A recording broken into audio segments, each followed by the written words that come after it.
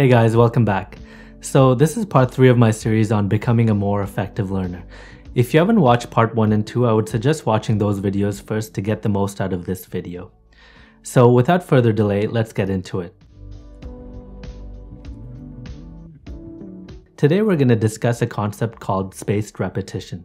Now, spaced repetition, like the word suggests, is spacing your study of particular subjects over a period of time. So let's talk about the evidence behind spaced repetition and why it actually works. While doing some research about memory retention, I came up on the idea of the forgetting curve by Hermann Ebbinghaus. You can read the full hypothesis using the link in the description below, but essentially the forgetting curve hypothesizes the decline of memory over time.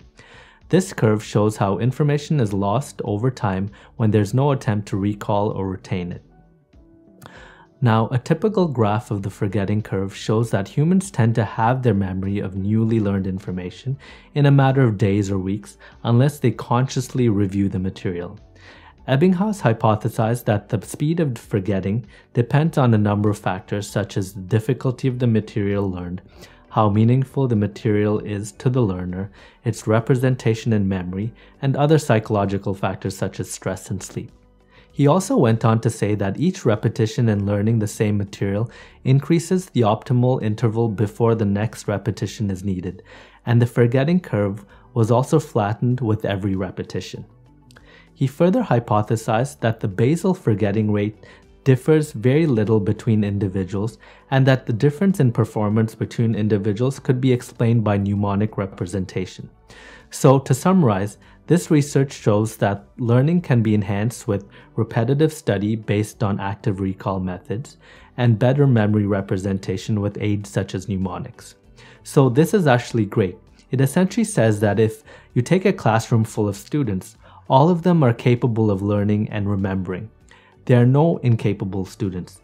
It's just that ones who do poorly have not learned to transfer knowledge from short term memory into long term memory, or they haven't learned to represent knowledge in a meaningful way in their brain so that they can recall it later.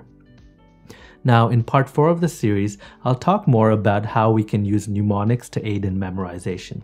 Now, if you're getting some value from this video, I'd really appreciate it if you hit the like button and consider subscribing to this channel. So let's move on to incorporating spaced repetition into our own study. So the best way I found to incorporate spaced repetition and active recall into my study routine was to use Anki flashcards. While reading lecture slides or class notes, I would think up of questions and put them into Anki. I briefly talked about Anki on part 2 of this series. So for example, say I was on day 1 of a 4 hour study session. I would spend 3 hours reviewing class notes and lecture slides and come up with questions that I would enter into Anki.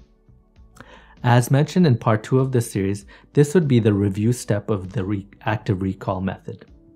The last hour, I would shuffle my Anki flashcard deck and try to answer the questions I created for myself.